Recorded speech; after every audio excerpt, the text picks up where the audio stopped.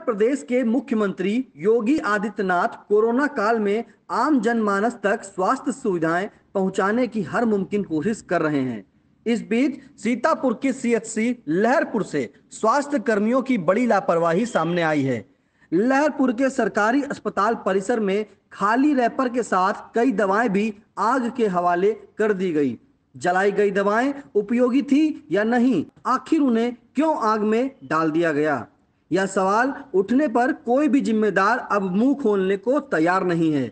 हालाँकि सीएचसी लहरपुर अधीक्षक डॉक्टर आनंद मित्रा रैपर जलाए जाने की बात कह रहे हैं, लेकिन अस्पताल परिसर में रैपर के साथ बच्चों को पिलाने वाला आयरन सिरप, कोरोना के लिए दी जाने वाली दवा, डॉक्सीसाइक्लिन आदि दवाएँ भी जलती हुई पाई गई हैं। कैमरे में कैद कुछ वीडियो में साफ़ नज़र आ रहा है कि तमाम दवाएँ रैपर में मौजूद थीं। जिन्हें आग में डाल दिया गया। अगर जिम्मेदारों की बात पर यकीन कर भी लिया जाए तो भी अस्पताल परिसर में दवाओं का वेस्टेज जलाना नियमों के खिलाफ है। खबर आपकी, नज़र हमारी। देखते रहिए आई इंडिया।